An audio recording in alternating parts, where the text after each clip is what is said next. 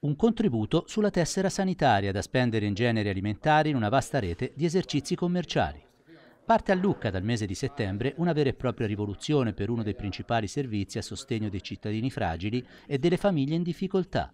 I buoni erogati dai servizi sociali comunali per l'acquisto di generi alimentari potranno essere utilizzati per la prima volta in un'ampia rete di attività su tutto il territorio comunale, non più in un unico punto vendita convenzionato. Stiamo parlando di una vera e propria carta prepagata attivabile direttamente sulla tessera sanitaria. Un servizio che fa un salto di qualità nella direzione della versatilità e dell'efficienza, secondo le intenzioni dell'amministrazione. Fino ad oggi infatti il comune di Lucca era convenzionato con un unico esercizio commerciale di grande distribuzione, quindi tutti i beneficiari dei buoni dovevano necessariamente recarsi lì per usufruirne. Il comune comunicava mensilmente al negozio la lista dei beneficiari che dovevano spendere il contributo da 80 a 150 euro esclusivamente in un'unica soluzione.